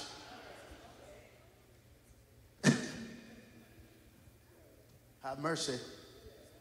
First John 4, verse 20 says, If a man, I'm reading from the Amplified Version now, if a man or woman says, I love God and hated his brother, he or she is a liar. Somebody say, ouch. For he that loveth not his brother or sister whom he has seen, how can he say he loved God he has not seen? So there are some of us that say, but I love God. That's the vertical. But there is a horizontal relationship.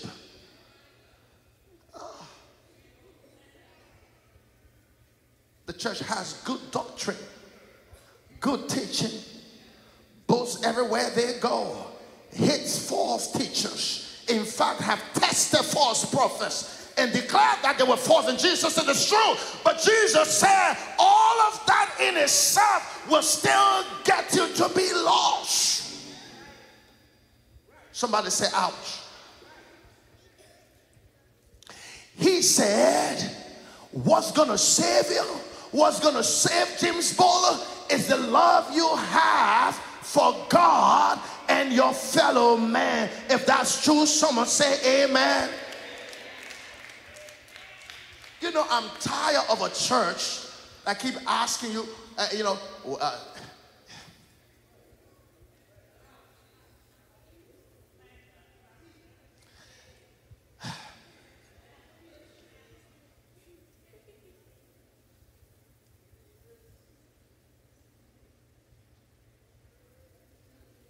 every time I, every time I travel, people see me. Sometimes they, they, ask me, "Where are you from?"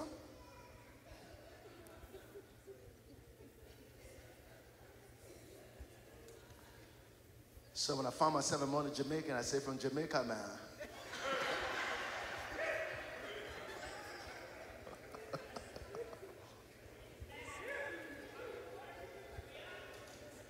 I'm on the Trini. Eh? I'm a Trini.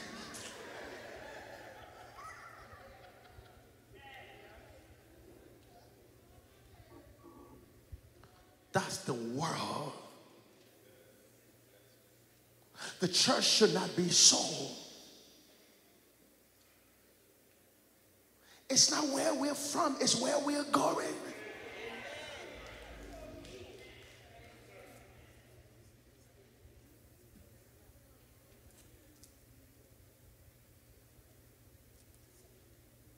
Love overshadows division. Love overshadows. Hatred loves cover multitude of sin. Love make excuse for error. Jesus said, You have good preaching, sound uh, preachers, but you don't love me. Should I even step on the gas? If we do anything in church and we don't do it out of the heart of love, we are wasting our time.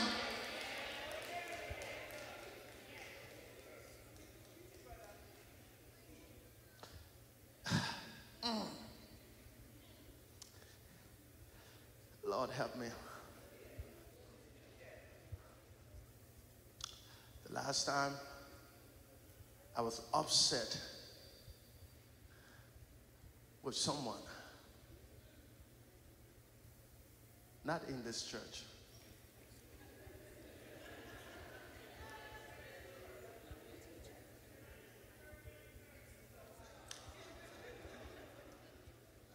And I was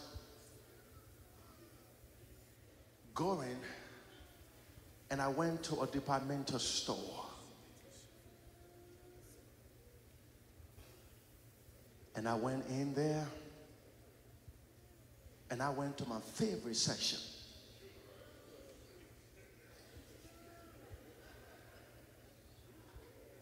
I saw me a nice pair of shoes. And I bought it for that person.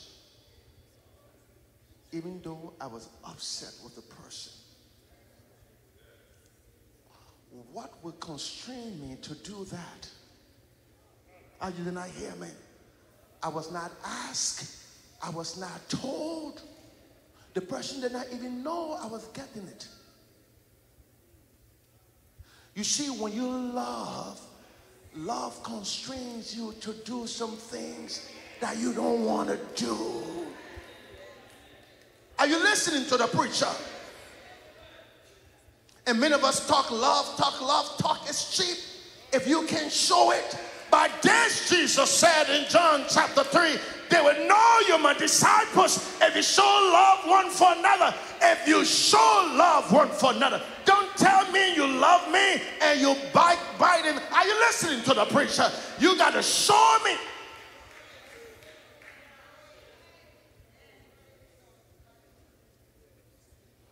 Years ago, I was in San Francisco, California. I was doing some work. And that night I got back to my hotel room. At the end of the day, years ago, I got on the phone, I called my bride. I began to talk. I must have spoken for maybe an hour, Sister Veronica.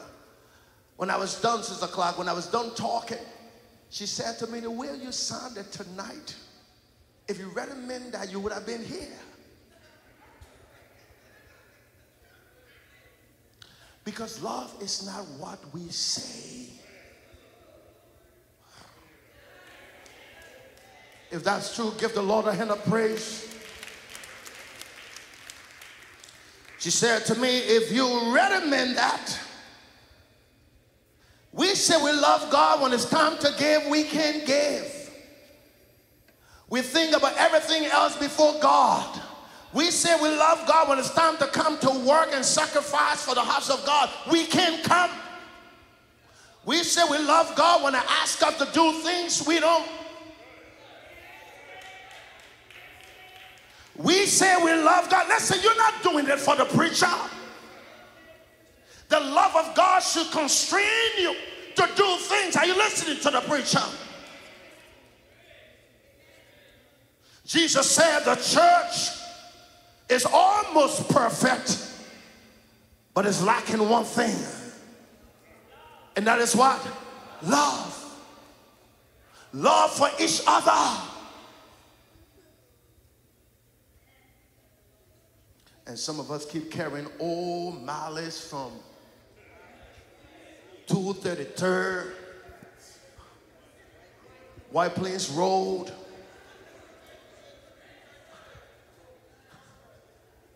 We carry malice from under the tent. We carry malice from, from our, our restoration. And then we move to the new. Can I preach? I know my time is up. I've gone a little bit over my time. But the Lord wants me to talk. The church of God when it has love, it will let go of things in the past. Come on, give the Lord a hand of praise if you believe that. That thing happened was a long time ago. Some people walk away from the church because someone treated me this way. Leave them. No one should drive you from church. You should love God so much so that even while they're talking, you are present. You should love God so much so that while they're talking, you are dancing. Hello, somebody. You should love God so much so that while they're criticizing, you are still coming. Are you listening to the preacher? You should love God so much so and said, Nothing will separate me from the love of God, which is in Christ Jesus. You should love God so much so uh, that you would declare that not even angels uh, will separate you from the love of God. Uh, no demon in hell will separate you from the love of God. Nobody will separate me from the love of God. I love God so much, uh, no death uh, or life, uh, because one day the Lord Himself will descend from a shout with the voice of the archangel. I don't know about you, what a day that will be. I cannot be separated. Jesus said, I love you with an everlasting love. My love constrains me. God was in Christ, reconciling the world to Himself. I love them so. Give the Lord a hand of praise.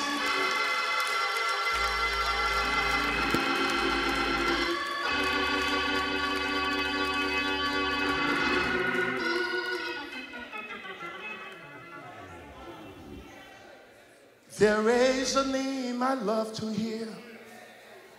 I love to sing his word. Praise him. It sounds music in the sweetest name. Oh, how I love Jesus. Oh,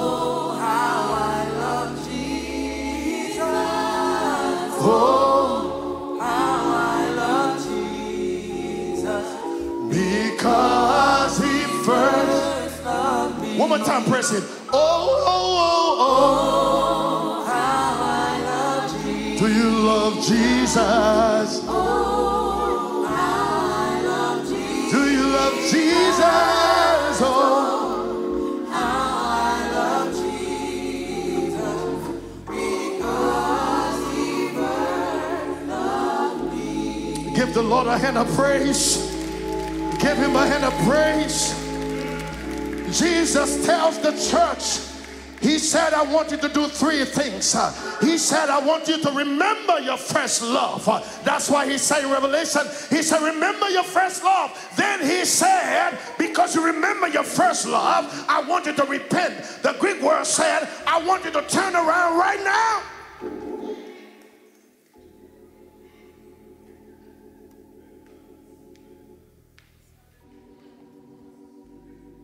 Friends of mine, you can hear all these messages all your life, and at the end of the day, we are lost.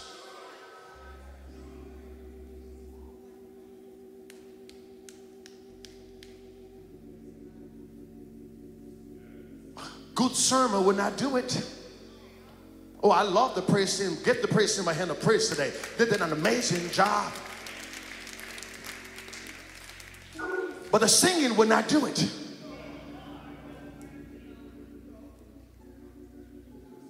All of the doctrine we know by the church would not cut it.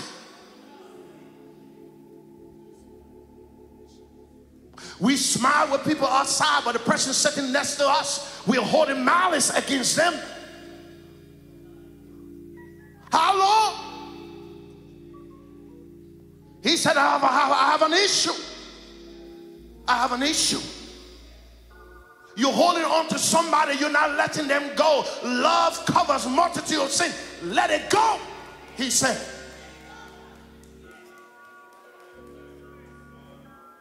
And then he says something amazing, Elder Terrence. He said, When you've done that, I will give you access to the tree of life. Give the Lord a hand of praise. Hallelujah. You You see, it was a tree of life in Genesis 2, verse 9, that was lost in Eden. Hello, somebody. It was a tree of life that Adam and Eve did not touch off. But now Jesus said, when Eden is restored, the new heaven and the new earth, I'm going to give you the tree of life, which bear 12 manner of fruits, and the leaves shall be for the healing of the nations. Come on, give the Lord a hand of praise. Do you want to be there? Now listen to listen to this. I love this part. Because on the tree of life, it bears 12 manner of fruits every month. When I was a little boy, I used to climb the mango tree and just enjoy myself. In fact, to the point that I had some little dots all on my face from the mango you know, when you just pick the mango from the tree, the, the thing, it has some juice that comes of the white one. And that thing would just flash on my face. And it burns. But I love mango so much, so I rather than I care. I would climb in a mango tree and I would spend the first 10 mangoes inside. Are you listening to the preacher? I don't know your favorite fruit. But when I get to glory,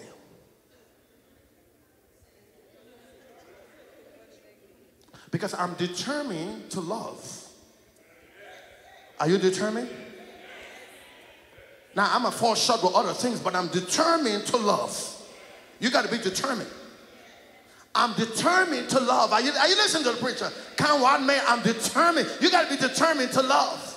I'm determined to love. And because of that, Jesus said, Son, I'm going to give you access to the tree of life. Some of you love soursop, that's okay. Zavocard, that's okay. Someone say raspberry. Someone saying guava, watermelon, passion fruits. I don't know about you. But, but, but I love what it says. That in the city, there will be a river, clear as crystal, proceeding from the throne of God. And on either side of the river would be the tree of life. So, Eleuteran, you don't need to come on the other side. But just in case you're tired on the other side, we can make it on the other side. But I love this one. And God. And God Himself will be there. Stand up with the preacher. Because in a little while, we'll be going home. Come on, give the Lord a hand of praise if you believe that. in a little while. We'll be going home. Praise Him, lead us.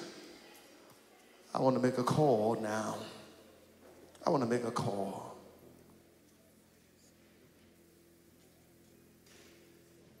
You are here, you're saying, Lord, I want to love you more.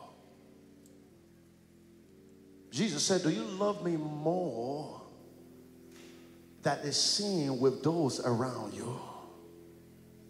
Lord, I want to love you more. My first love. That passion for lost soul.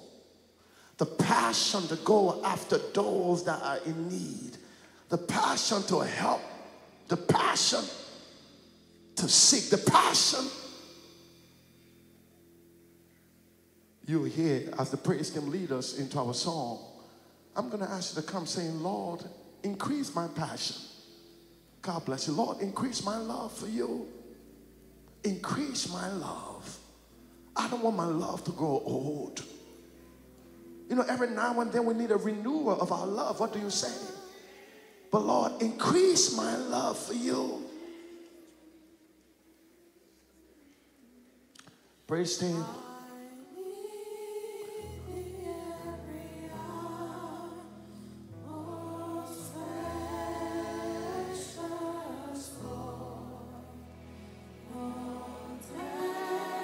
Lord, increase my love for you.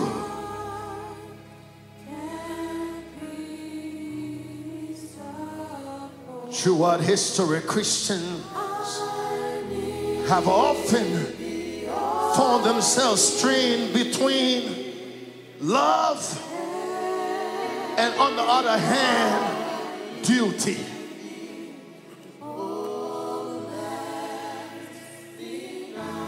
And many of us have leaned on the side of duty than leaning on the side of love. He said, Love me so much so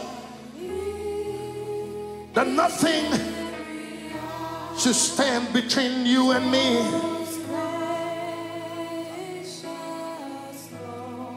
You see, love upholds everything.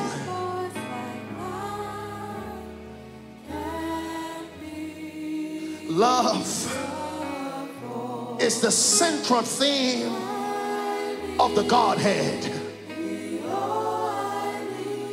The Bible says, For God so loved the world, it took the very life of God because He loved us so much.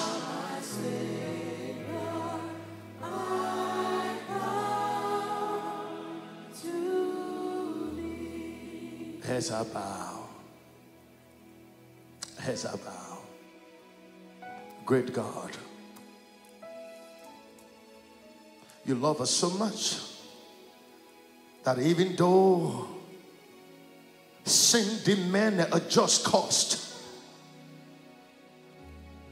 you could have washed Jesus on the cross dying by himself.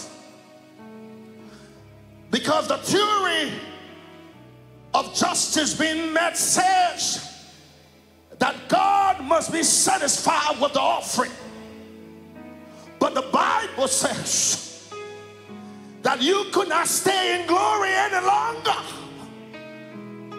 You call the Holy Ghost, call the angels, came to the cross, hover over the cross.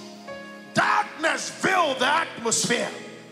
Paul said God was in Christ, reconciling the world to himself Father, today we thank you for your love. Thank you for first loving us. God commended his love towards us so that while we were yet sinners, Christ died. Thank you for your love. And Lord, sometimes along the way, our love fuzzed out. Other things begin to take your place. Our earthly duties begin to take your place. Our friends begin to take your place. Loved ones begin to take your place.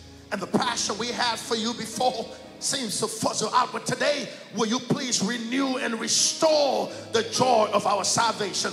Renew the love in us when we first met you at the cross, when we first saw the light and the burdens of our hearts rolled away.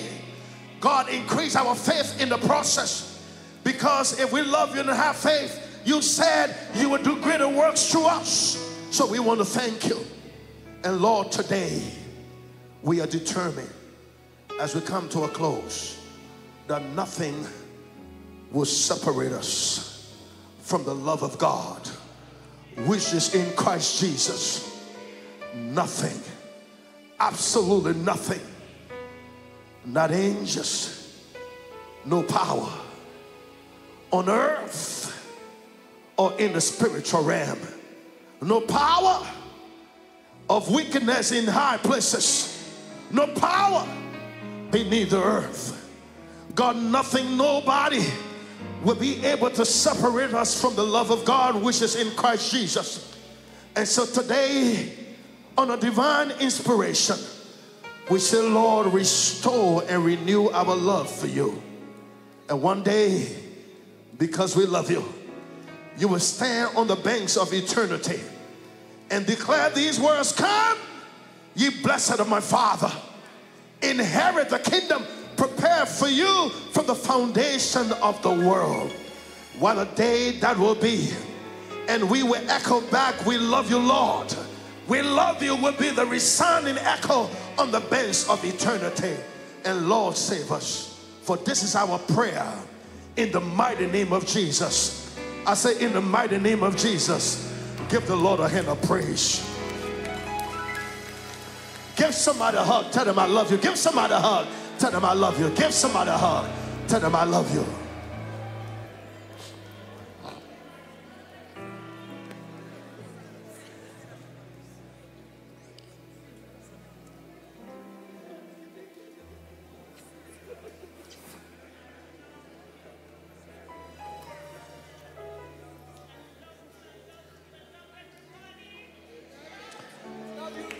Brother Ashley, you can do a better job than Brother Ashley. Give somebody a hug, Brother Ashley. You can do a better job than that. partner, give somebody a hug, partner. Give, give, give the girl a hug. Give her a better hug than that.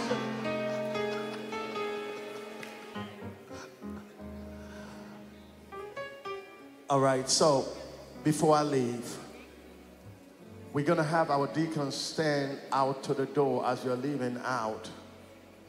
If you came with a special offering to help, please drop it in the basket. We'll be standing out to the door as you're going out. Amen? God bless you. Give the Lord another hand of praise, please. Give him another hand of praise.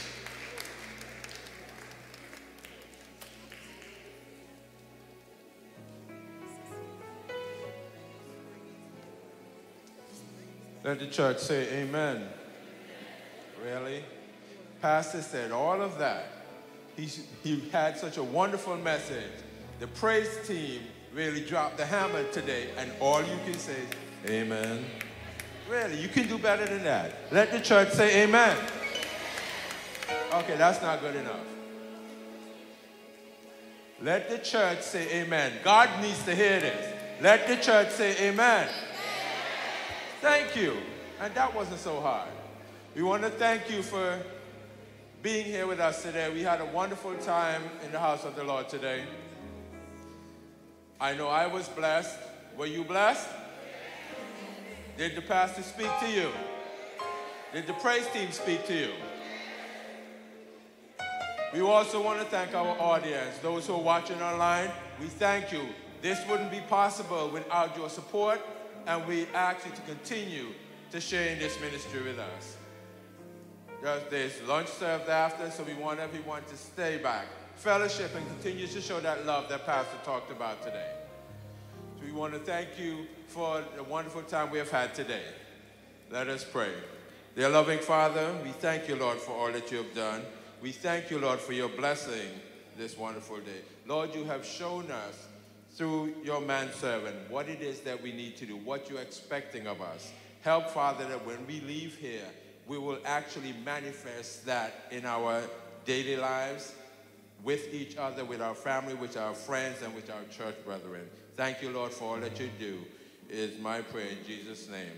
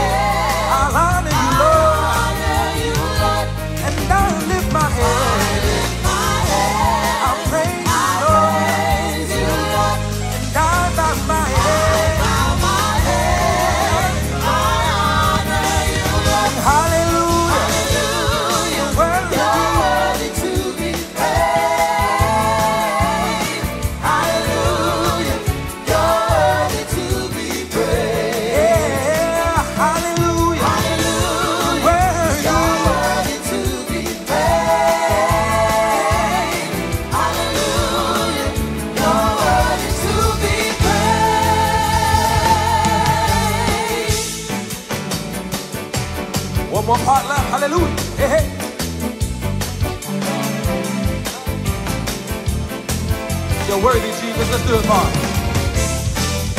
it,